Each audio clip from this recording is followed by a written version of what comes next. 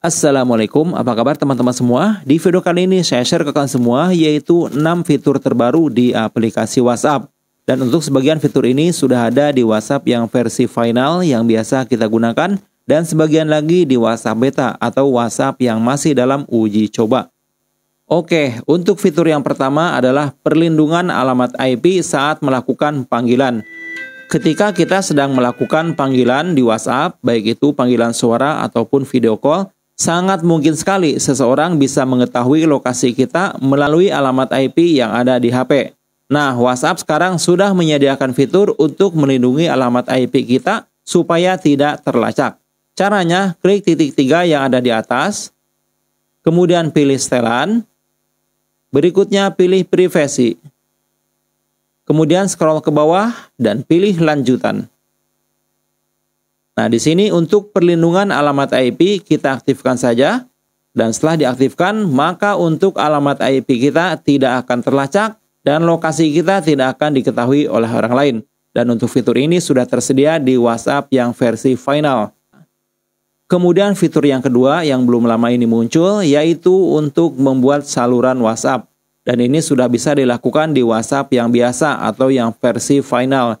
Caranya kita masuk ke pembaruan, Kemudian klik icon plus yang ada di bawah ini. Setelah itu di sini kita akan menemukan fitur baru yaitu buat saluran. Sebelumnya kita hanya bisa mencari saluran saja ya. Dan sekarang kita bisa membuat saluran serta membuat saluran untuk memposting apa pun ke pengikut kita ya. Kemudian fitur yang ketiga dan ini masih ada di WhatsApp beta yaitu mengirimkan voice note untuk sekali putar.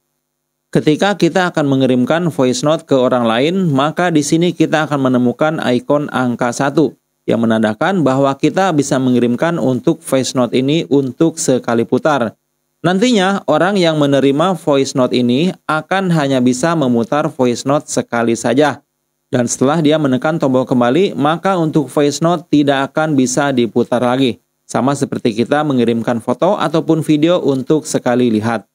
Kemudian fitur yang keempatnya adalah menambahkan alamat email untuk login alternatif ke WhatsApp. Ya, nantinya kita bisa melakukan login ke WhatsApp bukan hanya menggunakan SMS dan telepon saja, tetapi bisa juga dengan menggunakan email. Dan untuk verifikasi menggunakan email saat ini belum bisa digunakan. Hanya saja kita bisa menambahkan terlebih dahulu untuk alamat emailnya.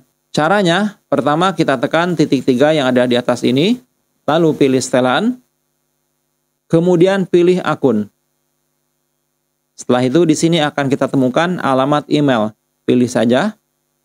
Kemudian silahkan masukkan alamat email kalian yang aktif tentunya ya. Di sini saya sudah memasukkannya. Kalau misalnya belum, tinggal kita pilih saja di sini dan masukkan alamat email, lalu pilih lanjut. Nantinya kita akan mendapatkan kode verifikasi yang akan dikirimkan ke email. Dan setelah kode verifikasi dimasukkan, maka di sini akan terchecklist berwarna hijau. Tandanya sudah aktif dan kita bisa login menggunakan email. Tapi saat ini fitur tersebut belum hadir ya. Namun untuk emailnya sudah bisa kita daftarkan. Kemudian fitur yang kelima adalah voice chat pada grup. Jika anggota grup WhatsApp kalian lebih dari 32, maka kalian sudah bisa menggunakan fitur voice chat ini. Di dalam voice chat ini, kita bisa ngobrol seperti panggilan telepon, hanya saja untuk notifikasi seperti dering tidak akan muncul ke anggota peserta yang lain. Kemudian fitur yang keenamnya ada di bilah pembaruan atau status. Dan untuk tampilan status seperti ini sudah muncul di WhatsApp beta versi 2.23.25.3. Di sini status WhatsApp akan dikelompokkan menjadi beberapa kelompok ya. Yang pertama adalah all untuk melihat semua status WhatsApp yang ada, baik itu yang belum dilihat, yang sudah dilihat, dan yang dibisukan. Kemudian ada lagi recent untuk menampilkan status WhatsApp yang belum dibuka. Kemudian ada lagi forward. Di sini ditampilkan semua status WhatsApp yang sudah kita buka. Dan yang terakhir adalah muted. Di sini akan ditampilkan status WhatsApp yang disembunyikan. Oke teman-teman, mungkin sehat saja untuk video pada kesempatan kali ini. Semoga bermanfaat. Terima kasih banyak sudah menonton. Wassalamualaikum warahmatullahi wabarakatuh.